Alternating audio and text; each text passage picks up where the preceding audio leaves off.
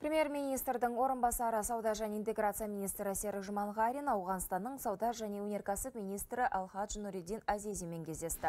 Жиында біздің тарап ауғандардан қазақстандық сусымалы жүктерге тарифтерді төмендету мәселесін қарастыруды сұрады.